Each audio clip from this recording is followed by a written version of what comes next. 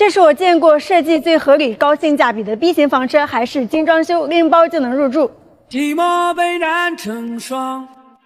我的世界出现一位姑娘。她来的时候对着我讲，以后别再吊儿郎当。我吻过她的。基于福特新时代 V348 Pro 底盘打造，2.2T 排量，6 AMT 自动挡变速箱，整车车长5米99，车宽两米一车高两米8，不惧限高，蓝牌 C 证就能驾驶。一直从会客厅延伸到睡卧区的加宽护甲，为我们提供更宽敞的活动空间，保温隔音效果也更好。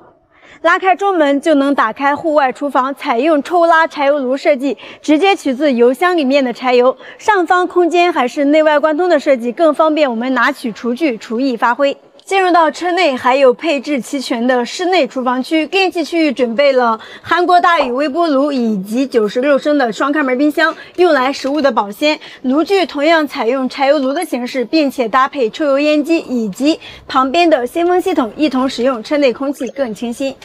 会客厅的空间对于 B 型房车来说真的很开阔，因为前方主副驾都是可以进行一百八十度旋转的，空间利用非常合理，几个人可以一起面对面的交谈。桌子是隐藏式的设计，需要使用的时候一键升起，最大能达到一百二十公分乘以五十三公分，四到六个人使用都轻轻松松。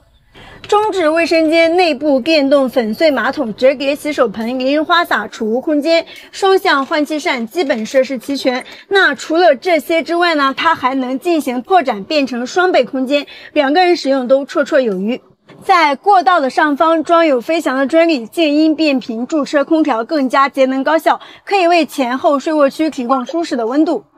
最后面就是车友们最喜欢的后横床啦，隐私性极好，同时尺寸可以达到一米二八乘一米九，夫妻两人一起出行睡这张床就足够啦。床下全部都是储物空间，能放各种出行物品。